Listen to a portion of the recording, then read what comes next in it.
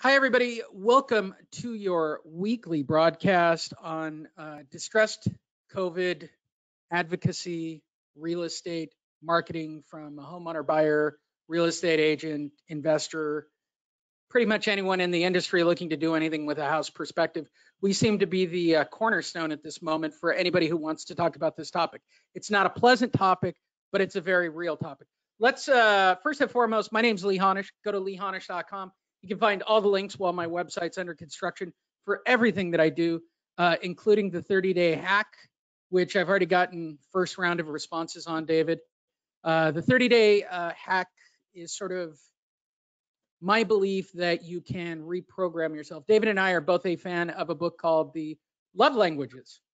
Love language, uh, the languages of love. Languages of love. Did I get it right? Um, five love languages. Five love languages. Thank you. Clearly, why I've never pulled it off. Um, but that's a reprogramming mission, right? The book is based on reprogramming. If this is what your person likes, do more of this. Um, the 30 day hack that I've created is based on that and sort of based on a, on the potato diet, which is if you want to do something and you want to reset yourself, you can do it with any topic. I'm not talking about psychological problems. I'm not talking about things that you need to go see an actual doctor about. Um, I'm finishing it up. I'm going to put out the first series of videos on the topic. I'm hoping within the next week to actually put out 30 days of video that everybody can follow. It's 100% free. Um, I believe that anybody in business, in life, and in service, it doesn't matter. If you program yourself correctly, reset yourself correctly, you can move forward. Just go to leehonish.com, sign up. If there's a form, I'll get the info, I'll get a hold of you and uh, we'll go from there. Also, marketing in pretty much every podcast, broadcast, and piece of media I create. With that said, I'm joined by David Bartels, the largest, greatest, and most awesomeness. Awesomeness. I use that word. I keep coming up with adjectives. I like inventing them. Uh, awesomeness, uh, short sale negotiator, but distressed property advocate on the planet. We have uh, built a team here to try to work with people in a COVID or a mispayment situation to try to bring homeowners and agents and people in our industry the best possible information. We are the ones who did it at the beginning. We are the ones still doing it. We are the ones who've been talking about it since 2006 and change, based on my math. Uh, David Bartels is with Home Loan Advocates. First and foremost, David, tell them about Home Loan Advocates. Well, we're short sale negotiators. So if you've got um, an issue with a property that's underwater and you want expert negotiation that probably doesn't cost you anything because the bank pays the fees, then um, you'd call us 805-413-8000, 805-413-8000, or you can email me at david at homeloanadvocates.com. Advocates is plural, david at homeloanadvocates.com. And David, you're working on something completely innovative, new, and different, which is you were just showing off to the camera before we went live. Show it off for the room. And David, what is Everhome? So Everhome is a technology enhanced um, real estate company that is really designed to help sellers leverage the technology to leverage technology that exists to list their own home in the same way that buyers are already using technology to buy a home. Literally, a seller is going to be able to use their phone, spend about 20 minutes and push their their house right onto the multiple listing service with a stop for quality control um, with the same ease that you could, or easier than even using a product like TurboTax to do your taxes. So I got a preview of it a few days ago. I'm beyond excited. Um, we're days away from any, it could be today, where Everhome Realty is going to be approved to do business and help you sell will full service realty will no longer exist and we will soon to be Everhome with a October um, going public date and national expansion from there. With all of that said, uh, you recently did, you went outside the family and you did a different broadcast. You did a different podcast. So um, I'm trying not to be jealous about it. trying. As a producer and a guy who puts out a lot of content, I'm trying. I'm trying. I understand. You've got to see other people. Um, we're just in that dating phase. Uh, talk about the other podcast you did and give them a little bit of a, a pop. Maybe someone would want to go In Oh, well, you know, it's going to be published tomorrow. I did a, I did a podcast with Neil Hughes. He's a, he's a UK uh, podcaster and he does a daily podcast on technology. And somewhere or another, he found out about what we were doing around the seller technology and around blockchain and thought it would be interesting fodder for his viewers. And so we recorded a 30 minute pro- podcast and um, I sent Lee this morning a preview of that and it's going to go, it'll go live tomorrow once it, uh, and we'll have the links to that. So those of you that are interested in hearing that are certainly invited to listen to it. So it's, it's really about our new Everhome technology, our seller technology, plus how we're incorporating blockchain to create the world's first blockchain escrow and title company. I'll probably be a little more shameless than that. Since he's in the UK and I'm not going to worry about copyright infringements, I'll probably download it, turn it into a video so that it goes up on the coaching page, and also download the audio and put it up on our own podcasting channel. Um, But he'll get all the pop for it, so I'll make sure he has all the links in the, uh, Yeah, sorry. I'm, I'm shameless. I'm shameless. Those who can't borrow liberally. I'm just, uh, I'm just saying that for the record. Uh, this is a live broadcast. We do invite anybody who's in the real estate industry, including homeowners for that matter. Uh, we've never really invited you. You can go to coachingcalls.info, um, .info, coachingcalls.info. There's a link. You can join us live. We only uh, record for about 30 or 40 minutes, and then we do live questions. Last week, everybody got a new rock me like uh, rah rah pitch, not from David, shockingly from me. Um, but we do live questions after the call for those that are here live. We do check them occasionally. Uh, today, there's a lot of news that's gone on. First and foremost, I want to say this because I know we have a lot of a new fan base. Um, first and foremost, how is everything going in uh, COVID-based land in life, liberty, and the pursuit of happiness for you, David? Well, we're we're busier than we've ever been. So we've got more escrows than we've ever had. We'll by the end of the day, we'll be back up to 20 escrows. We keep going 18 to 20 um, escrows right now based on stuff that's closing versus um, new escrows that we're getting. Um, we'll list a couple, two or three more houses by the end of the day. And so COVID is not impacting our business. It's been really bustling um, around here. Um, and by the way, when I say we've got 20 escrows, I've got three salespeople. So my my eight, we're averaging over six transactions in escrow per agent. You know, most most, and that's a, a result of our marketing. That's a result of our our lead conversion. That's the result of the technology um, that we're using. Um, that's really led us to evolve to Everhome. So it's an exciting time, and if, especially if you can control listings, you're really going to do well. Uh, with all of that said, uh, for those that are on the live call, go ahead and load up your questions at any time. I know that Victoria has already put a question in. I will get to those. Um, I want to cover some of the hot news topics that have covered before we get to our kind of two main stories for this week. I'm interested in both of them. Uh, first and foremost, let's talk about what the president did this past weekend. No, I'm not talking about wanting to put his face on Mount Rushmore, which is amusing, very amusing. By the way, if I were president, that's the first phone call I would make. All right. You're, you remind me of John Oliver right now. would I not would I not have put like that's either that or be a McDonald's character. I got to be honest. I would rather be on Mount Rushmore or one of the McDonald's characters, uh, right next to Grimace and Ronald McDonald himself. Good for you, Mr. President. That's the way to go. Um, and I'm not here to talk politics. We don't do that on this show. However, if you listen to us long enough, we kind of question what the president does occasionally. I'm going to we'll question a lot of what we'll he did. question the next president too. It doesn't matter. Oh, it doesn't matter. Let's start with one of the things he did this past weekend, which is the I recommend you put a moratorium in place. And if you reelect me, then I'll justify it. Uh, executive order that he signed in. So I've read it and it's the funniest thing I've ever read. He is recommending to states that there is a moratorium on a federal level till the end of the year.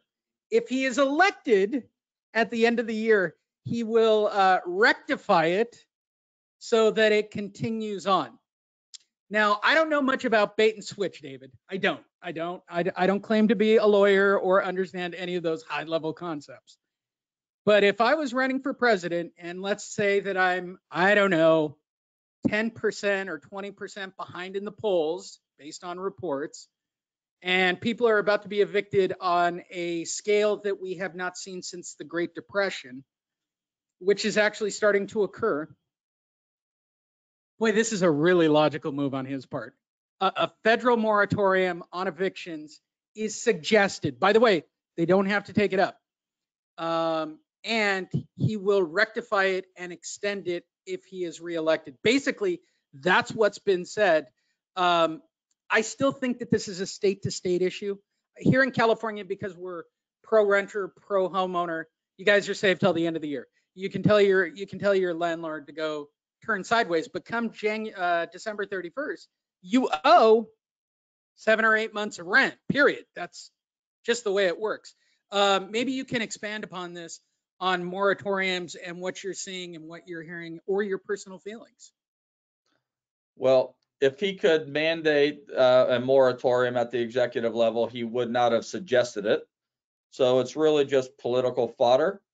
And, you know, it's really up to each state. Now, I happen, we happen to be residents of California who might be the most liberal state in the union. And basically what they are are saying is that 90 days after the moratorium, after the COVID restrictions are lifted, which is easily going to get us through to the end of the year. Now, I hear that there is some legislation being wrestled up that's going to clarify when that is and put a definitive date on that. Um, we haven't um, really seeing that. So it's it's really hard to say. Right now, it is really impossible to evict somebody in California and it's impossible to foreclose on somebody in California. And even if you were permitted to do that, you can't get a, a court hearing to do it. So Yeah, I agree. I- so look, I would say this. I would say this if you're in California, there's a couple of other places that are like this. If you're looking towards the end of the year, and I've done eviction work, that's how I got into the business. Nice and loud too. Um, I did it last week. It's all right. Um, this is a quality broadcast. So, not like those UK folk. Uh, I would say this realistically, if you're a homeowner or a renter and you don't pay in the end of the year, the bill comes due, no matter how it plays out. The very best scenario is you're not in court on an unlawful detainer till that next summer. That's the worst. Like, that's not making a single payment from now until next May, June, July. Like, and then you got to go another 30 days on top of that. I would think from right now to next year to full eviction, you're looking at about a one year cycle, at least in California, probably Texas, probably Florida. New York's even slower. So I I want to clarify something because I don't think you, I, I'm certainly not advocating that people not pay their rent. All right, we're, we're just talking about the more. I- Wait, I want to make it clear. I don't have a real estate license, so I can advocate whatever the hell I want. Well, is that what you're advocating? Oh Are you my God. Advocating for pay Wait, hold on. If we were talking the old short sales days when I was approved by like a half dozen states to do continuing education, my advice would be do every effort you can to make all your payments and stay Yeah. current. And All right, now- right now, you people are crazy. So let's just talk about the pros and cons of doing that, so we have a balanced discussion. Because we don't agree here. all right? So- So, so the balanced discussion is be, you know, listen, if you can't make your mortgage, if you can't, not your mortgage, but yeah, your mortgage or your rent payment, if you can't, that's one thing. Okay, then don't. You, you still owe the money. You can still get, you know, even after you can get evicted, you still owe the money. that landlord is going to be able to haul you into court and get a judgment lien against you to be able to get it, you know, to do that. Now, whether or not you can pay or not pay, and it's whether or not it's collectible, that's a different conversation. But small claims court is up to ten thousand dollars, so that's where most people are going to go. If you do have the ability to pay and you decide not to pay, you're going to be that's going to be a problem because if you do end up in court and you have to explain why you didn't pay and you and they're able to demonstrate or you confess because you will be under oath that you were not that you were still gainfully employed and your income wasn't impacted by covid which is the case and you still didn't pay because it was strategic and you thought you could just take a you thought moratorium meant payment holiday you're going to be in big trouble you're going to you, I, I, think that the courts are going to make some examples out of people um, who abuse that situation. Just my opinion, of course. Yeah, I don't disagree with that. And that's what we actually saw with the first distress go round. And I'm not disputing any of that. I'm just talking from a time frame perspective. I mean, realistically. Um, and certainly if you're using your 401k, if you're borrowing on credit cards, let's talk about this for the homeowners for a second, David, because this is now becoming a real thing again. Okay. People using credit, running up their credit, people using their 401ks and Don't cash. do that. Yeah, that we've seen this show. It doesn't end well. Yeah. Don't Uh, do that. Take, you know, if you need to borrow the money to make your mortgage payment, don't make the mortgage payment. Because what happens is, you know, unless you're certain that it's short term, a month or two, and that you're going to be gainfully employed or you're going to resume your employment, whatever the case, if you're certain of that and you're going to cure this the unemployment situation or the loss of income situation that put you in a position where you couldn't afford your payment, then maybe. But if if you just have a hope that you're going to get back to work and that you're going to be able to your income is going to resume at at pre income loss levels, then you the worst thing that you can do is borrow money to make the mortgage payment because I've seen this happen over and over. I've seen people deplete, and that includes borrowing it from your own savings account. I've seen people deplete their savings account, deplete their 401ks, deplete their kids' college funds, run up their credit cards, borrow money from friends and family to save a house that they eventually lost. So not only did they end up losing the house, they still end up owing all that money and their problems were just compounded. And my advice now, my advice then is the same. It will always be the same that if you're going to lose your house, lose it with money in the bank versus losing it with no money in the bank. Th- That is the, what the moratorium is about. So you should be increasing your savings, not decreasing your savings. Skip the payment, deal with it later. Um, the likelihood is is that you're going to end up with a loan modification or a forbearance that's either going to extend your loan or create a lump sum last payment for the missed payments in all likelihood. It is very probably not going to result in an actual foreclosure. It might result in a foreclosure start, but if you end up being gainfully employed, um, the banks are likely to work with you to resolve that one form or another. It's going to look different than 2008, um, but nonetheless, it's going to there. You're going to see a lot of pressure on the banks to just push those payments to the end of the loan if you've regained employment. Now, if your unemployment is long term and things start to clear up and you're still not back to work, and then you're going to face foreclosure. But if you're able to get back to work and resume making a payment, you're probably going to be okay, even though there's going to be some work to do. Uh, next story in my best non-Cockney John Oliver like. Yes, and by the way, thank you for the great compliment on John Oliver. Um, his research team does an amazing job of look, making him look good. Um, our next story. Executive order for the $400.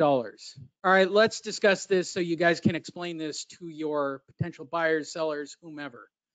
Um, as I understand it, the states must cover 25% of that money Which is a hundred dollars per week. right, per week uh, which if you're in California means zero dollars and zero cents because we have no money. Um, so it only applies to states that actually have a surplus.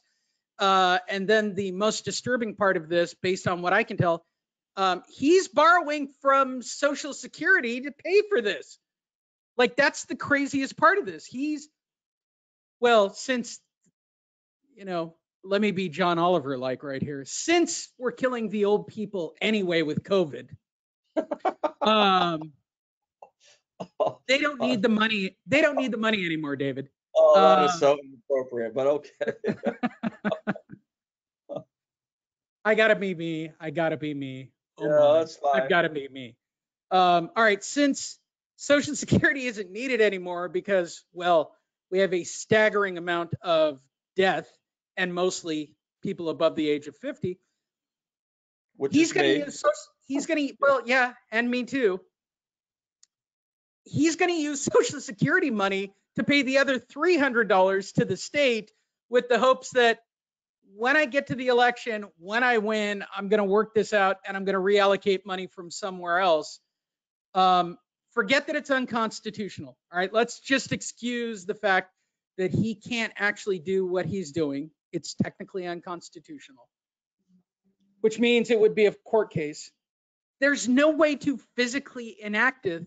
Uh, we're back to what we said with the previous uh, moratorium, which is this is political fodder once again, and nobody should count on this. Right. No, I think that's right. I, you, know, I, I listen. I haven't read it in detail. I just, I've just seen the headlines um, from what you're saying, and there, even he anticipates um, legal challenges. It's really just politics. So just trying to appeal to, just trying to generate some votes, and so we'll see how it plays out. But I would not, um, if I were unemployed and I needed that four hundred dollars, I would not be celebrating yet. The likelihood, and even if it does come, it's going to take weeks or months to work its way, you know, to you. So I would just be very careful. I would still do my very best to go out and generate my own income, even if it's doing a job that I wouldn't be proud of doing to take care of my family. Yeah. Um, and I've said this on previous shows. Uh, as much as my personal beliefs disagree with wanting to be on Mount Rushmore, hilarious. It's just so funny. That is so Trump. It's funny. Um, excluding all all of the pretense of all of that, I agree with the campaign that they ran, which is do something. I don't even care if it's volunteering your time. I I'm kind of I've obviously gotten older. Here's the thing. I had a daughter who turned 16 on Thursday who when I saw her for the first time in several months based on COVID, uh, looked like an actual woman, which scared the literal crap out of me um, to the point that it was almost shocking. I mean, they put me at the far end of the yard, um, 20 feet away from guests, because apparently I live in a high COVID traffic area here at the beach where nobody cares whether or not you wear a mask. But staring at my daughter across the yard with my glasses and a pair of binoculars, I realized that she was now a fully formed woman in the real world. And and in looking at that, it somehow changed me dramatically on Thursday. Um, and I was lucky enough to spend time on Saturday with a friend who had small children. And I kept thinking, there's this weird gap, right? My daughter's going to know the next year or two years of being at home. Like, even a person who's graduating in a couple of years might not have an actual graduation. There might be a partial home, stay at home.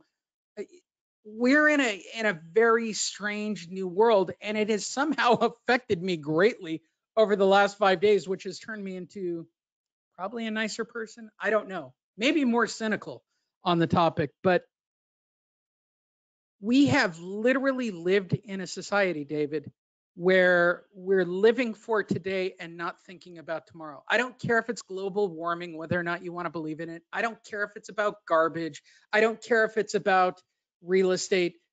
Nobody's looking forward. Nobody's reviewing the past. we're living in the moment because we're so stricken by the dollar that we're terrified. I honestly, the number one thing I, I see, and certainly when I was creating the 30 day hack, I brought this into play. We are so relegated by fear for our next action based on our family, based on our food, you know, all the primal stuff. So I, I just want to get your feedback. Why is it that we are a fear driven mammal? We, we don't, we shouldn't be. We're at the top of the food chain. We're smart. We can outthink this. We've got technology, but everything is based on fear fear of what this country is going to do to us, fear of what the real estate market's going to do to my business, fear of what's going to happen to my children, fear of what's next. Tomorrow's going to happen no matter what. No matter what, David, the sun's going to wrap around this planet and you and I are going to have to deal with tomorrow. And I I've been trying very hard now for a while to go tomorrow's a different shade of colors and you just deal with it and you work with it and you try to move with it um, especially for the people on the call how do you wake up every day and just not try to let fear dictate the next action Oh, well, that's an easier question than why people are fearful. Because I don't know. The, you know, I just have, I have some thoughts. I don't know. They work for me. Maybe they'll work for other people, but my thought is, is simple. For me, I focus on what I know, not what I don't know. I don't worry about um, things that are outside of my control. The chips are going to fall where they may. I can only focus on the information that I have have right now. And so that what that means is is that I don't have I don't have time or energy or focus to hypothesize what I am going to, you know, what might happen.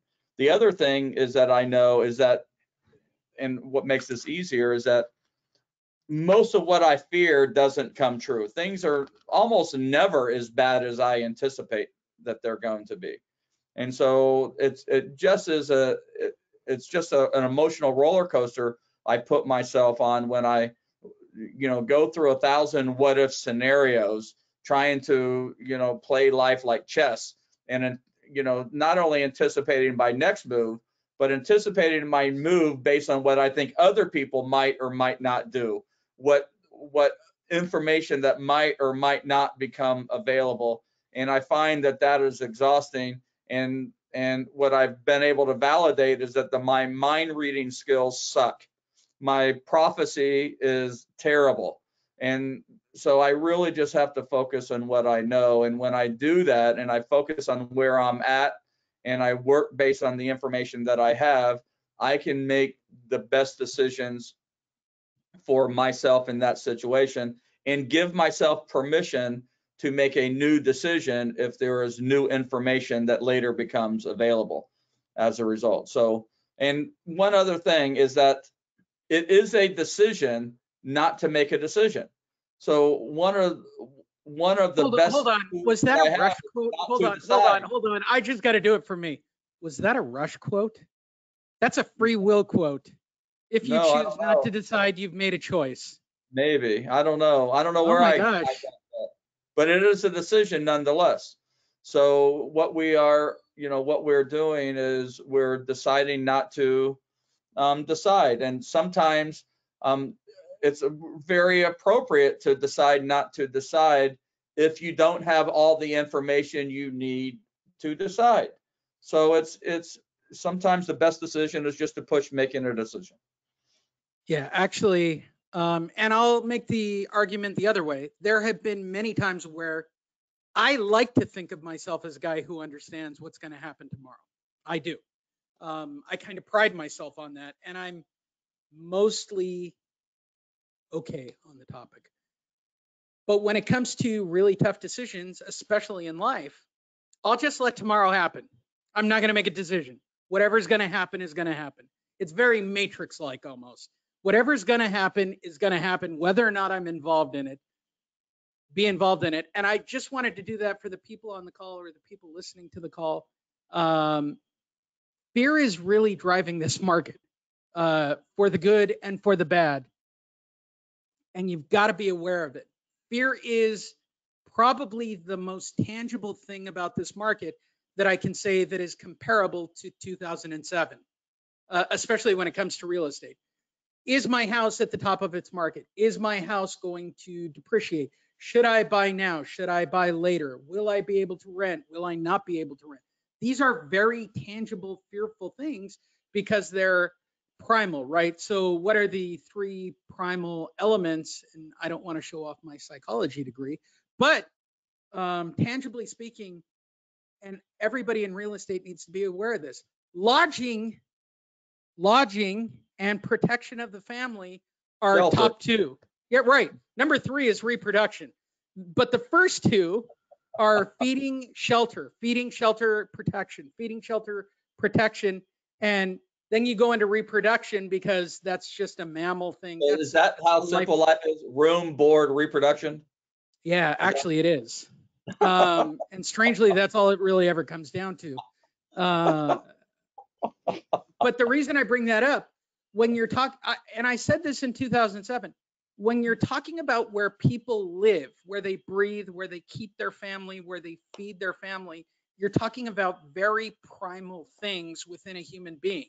I mean, this goes to anything living on the planet. We share this in our collective DNA about wanting to protect and have that protection. And we've seen it time and time again. We've talked about it with short sales. We've talked about it with real estate in general. We it's fundamental. People are going to be fearful. They're going to be fearful of you and you need to be completely aware of this and empathetic to this. And if you don't own that skill, then you've got to compensate with expertise. If you can't compensate with expertise, then compensate with something else. And I'm just talking about this from uh, for the agents, David.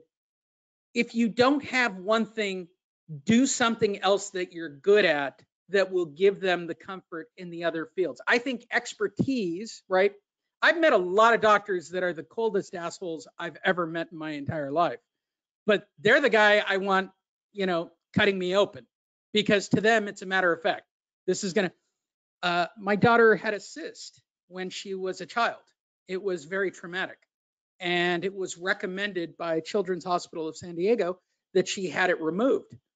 And I asked him a pretty serious question, and he was almost matter of fact and brushed me off about the whole thing. And I went, "That's the guy I want to do it." He had no empathy on the subject. It was just a matter of fact. Um, it didn't make him a bad guy because he had no bedside manner. And I wouldn't say that I didn't cry or that the whole thing wasn't the most traumatic thing I ever went through in my entire life. Um, even thinking about it, it still bothers me.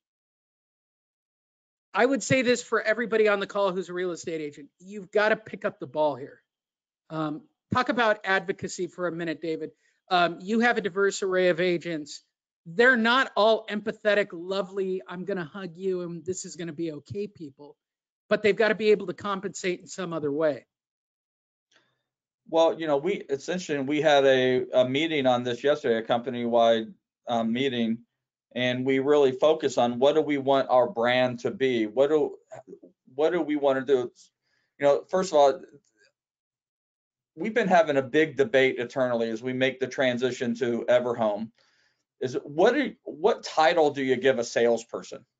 What, you call them realtor? Do you call them buyer's agent? Do you call them listing agent? Do you call them agent? Do you, what do you call them? And the reason why that's such a struggle for me, the, the reason that's just such a struggle for me is that nobody ever hired a salesperson to help them solve a problem related to their house. They're looking for somebody to really, uh, you know, advise. They don't want to be sold something. What people want is they want to be able to gather information and make a well-informed decision. And so our company is run from a position of advocacy, but it's in its simplest form. And it doesn't have, and advocating for somebody doesn't necessarily mean that they're in distress or they've got a massive problem. Advocating for people is more like a fiduciary, and that is really taking time to find out what those people want, what somebody wants, and then spending the rest of the time helping them get it. And without a focus on how much money am I going to make as a result of investing this time and expertise in them. Now, that's not to suggest that you that you shouldn't be for profit, that you shouldn't charge for your services. That's not what I'm saying at all. What I'm saying at the core of our interaction is what do you want and how can we help you get there? And that includes, as a result of listening to our consumers, developing products and services that will help them get there. So when we talk about distressed properties, we provide free free foreclosure um, postponement services. We provide free loan modification um, coaching, but we get paid to do short sales.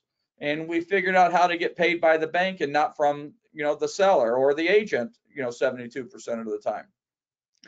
You know, from a from a listing perspective, we're saying we're seeing sellers are struggling every day to figure when they go to sell their house do i go unrepresented so i don't have to pay these accept what they consider i'm not saying they're excessive but what they consider is excessive realtor fees to sell their house at five or six percent of the sale price or do you know and, and assume the risk of doing it myself or do i avoid the risk and begrudgingly agree to pay more than i think that i should in order to have somebody solve that problem. And so what we did was after listening to consumers is we created a hybrid, something that allows them to do both. So for instance, our for sale with seller program basically allows allows them to hire us to put their house on the multiple listing service for them. So they literally list it themselves and they take the calls, they handle the showings, they answer the questions related to on the sale of their house, but they avoid the critical elements of negotiation, paperwork, escrow, title, disclosures, that kind of thing, by having that offer come to us directly where we fully represent them in that transaction without charging them a big five or six percent of the sale price to be able to do it, thereby allowing to save thousands, tens of thousands of dollars um, in commissions while still getting the massive exposure and the full service representation as if they paid somebody 6% to list their house. The other way that we advocate is by giving them an option. Do you want full service or do you want self service? So those are, you know, do you want to be more involved? Do you want us to take care of everything? And the same is true for each product. So as we look at the kinds of interactions that we have, we're advocating in the sense of we're giving people options. We're not trying to talk them into one thing or another. And we're providing services at a level that are not income driven but more service driven and and where they're more consumer centric and we're focused on building long-term relationships that will turn into income producing events as a result of that valued relationship that we build. With that said, this is our quick break before I do our top story of the night. Um, and I do have a top story of the night. Uh, David, give people a way to contact you?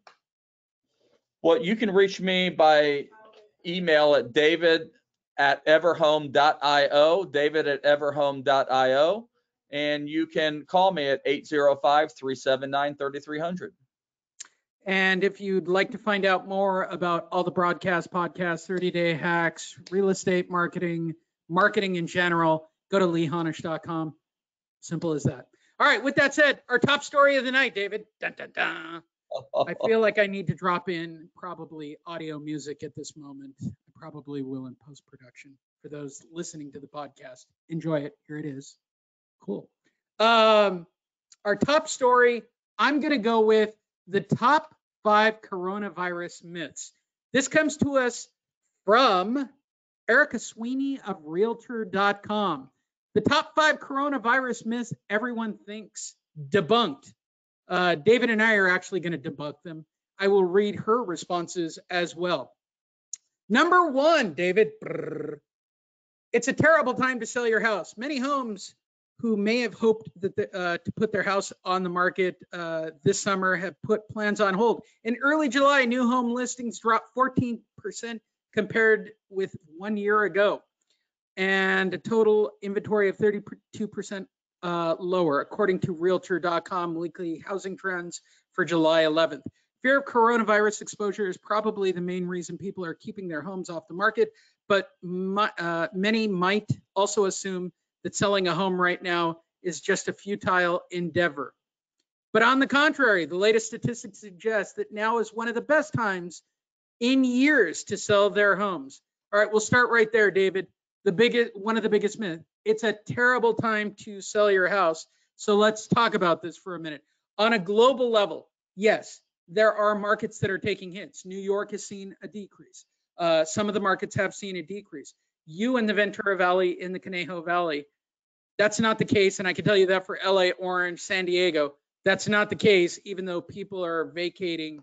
Um, we went, one of the weird things in California that's going on is that our growth rate went flat, right? We're, people don't want to be out here as much because we keep raising taxes to the point where it might not be worthwhile for everybody. But with that said, what are the values like for you? Is this a terrible time to sell your house? I mean, from my perspective, this is the, the hottest sellers market that I've ever seen. And there's no reason that it looks like it's going to fade. And the reason that it is um, so hot is because of that limited inventory. And when you say that inventory is down 14%, that must be a nationwide number. I've seen numbers um, as high as 45%. And buyer demand far outweighs available inventory, and we are seeing multiple offers um, on properly priced properties, and they're selling well above asking price within a couple, three days. And I think that trend is going to continue, and the summer selling season is going to be extended into the fall, deep into the fall. I want to make this a note. Realtor.com is in no way associated with the National Association of Realtors. Realtor.com is owned by Fox News. Just thought I'd say it out loud since I'm the only one who followed that trend. Number two on the list, home prices are plummeting. Data shows just the opposite. Home prices are actually rising. According to the National Association of Realtors, they actually quoted them. The national median price for single family homes grew 7.7% in the first quarter of 2020 to $274,600. We're seeing a home price grow faster than pre-COVID, Hale said, in the fact that they are on pace with home prices we saw last time this year. How are prices out there for you? I know in San Diego, prices are through the roof. Orange County's through the roof. LA, it's market to market. Riverside, San Bernardino, blah, blah, blah. Uh, we talk about this a lot. Real estate is per market, right? It's um, dictated by your market. It's not dictated by the national perception. And I've said this a million times, and I want to make it abundantly clear for agents, homeowners, investors, anybody. Your market may be special. David's market is expanding. I know what he's about to say, but it is dictated by what the homeowners see on MSNBC, CNBC, um, CNN, Fox News. Their vision of the market is based on a national projection instead of a local projection. David, let's talk about this. Home prices are not plummeting. Um, I know that they are in certain markets, but how is it for you? Well, I mean, for me, we're seeing prices are moving up. And again, but that's driven based on the same supply and demand that's creating the multiple offers. So anytime you've got a, a, a market environment where buyers are competing with each other to raise prices, you're not you're not going to see lower prices. Lower prices only happen when there aren't buyers competing for properties. And the result is sellers, because of the surplus of inventory versus the buyer demand, sellers start competing with each other to lower the prices. So we're not seeing any sign um, of that at all right now. And there may be some markets around the country where that is happening or could happen in the short term, but I'm not aware of any of those markets yet. We're not, you know, I'm not engaged in markets that are having any kind of not only price depreciation, but threat of price depreciation. Depreciation. As long as there's an inventory shortage, prices are going to go up. Oxnard? Prices are going up. Oh, geez. You know the world is ending when Oxnard's going up. I, I just wanted to say it out loud. That's just me making a ha-ha. Uh, number three, buyers are holding off on home purchasing. No. I don't even need to read whatever he's saying. I know he's got stats here. We have way more buyers.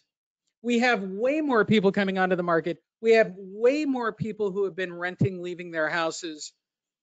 Um, buyers holding off on home purchases as a myth. That's crazy, David. Um, let's talk about it right there. First, let's talk about it two ways. Buyers holding off on purchases or loans not being available.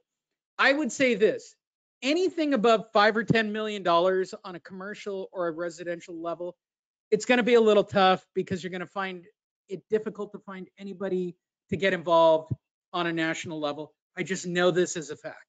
Nobody is making big loans right now. But if we're talking residential or smaller loans, David, let's talk about this. Buyers aren't holding off. We have more buyers than sellers, and that's what's causing the imbalance. Uh, let's talk about that for a second. Well, you you have some buyers that are holding off, but relative to the number of listings, there's an abundance of buyers. So, I mean, what what's going to happen is that when the restrictions get lifted, you're going to see a surge of listings come to the market, and that's when the big market test is going to happen is whether or not buyers are going to be able to continue to absorb um, that growing inventory that is anticipated. But but yeah, I mean, yes, there probably are fewer buyers, but relative to opportunity, um, there is an abundance of there is far higher buyer demand than there is available inventory. So it's it's the different side of the same coin. Uh, number four, homes can't be viewed in person. As stated, issues stay-at-home school, social distancing mandated, uh, depending on your state of the COVID-19 outbreak. Many in-person home showings and open houses were put on temporary hold in favor of virtual home tours. But by now, most of these restrictions have been list, uh, lifted uh, city to city, county to county, no matter what it is. So let's talk about it. So from a buyer perspective, David, um, homes can't be viewed in person. Is this a real thing? It's not a real, even when they weren't allowed to be viewed in person, people were viewing them. You know, when LA, when LA County had a moratorium, we, we had a seller that was, wanted to show their own house. I, and I said, well, you're not allowed. He said, well, I want to show it. We went on the market and he had like 30 showings in two days um, even when nobody was allowed to look at properties. And now you're permitted to to show. There are there's just some common sense that needs to take place. So there's, you know, you want people to wear masks, you want to open doors, you just you want to be. Yes, you can see it. And one other thing is that we've been offering virtual tours for all of our listings and and everybody else's listings for that matter. And when we give buyers the option to look at it virtually or go see it in person, 99% want to see it in person. They don't want to buy, they don't want to make a buying decision based on touring the home virtually. They want to go in there and meet the home up close and personal before making a decision. I think that's going to continue. Well, and I want to go with a caveat on this. Um, since you've had many escrows and you're still continuing to do escrows, I'm going to go way out on a limb based on social distancing. I'm guessing appraisers aren't doing virtual appraisals. Um, I'm, we're not saying we're not seeing virtual appraisal. They have the option to do virtual appraisals, but that's not what they are. Um, they're not doing, they're going inside and it's, listen, it's business as usual. COVID, no COVID, business as usual, except there's limited inventory and lots of buyers. All right, with that said, number five and our last on the topic board, which I actually enjoy, every uh, this will be a little weird. I don't know how to work this for you, David. Uh, everyone is fleeing the cities for the suburbs. This is probably the most rampant myth of all, and certainly makes sense from a pure impulse level. Since urban centers like New York, even LA, which has a large condo community at this point, uh, and downtown San Diego actually, make social distancing far more challenging than in less densely populated areas. Why would city dwellers flee in mass and try to buy a house in the burbs? Well, this one is partially true. Yes, listings in the suburbs are drawing more attention these days. Um, the numbers of views on properties that are within suburban zip codes have increased by 13%. I don't know if this applies in the valley for you, David. I don't, you know, just to be frank and honest, but I know in LA, San Diego, Orange County doesn't really have a downtown scene. Downtown LA created all the condos and the down life. Um, San Diego invested ungodly amounts of money into building condos in downtown San Diego. Um, downtown Phoenix, Arizona, Austin, Houston. Um, is it that way? Do people want to get a little further away from everything else? Well, the exodus um, has to do with two things. First of all, I've been seeing an exodus in our market for years. You know, I, I would say 60, 70% of all home sellers are leaving the area. Most of them are leaving the state. State, That- right. Yeah, that's continues to be true.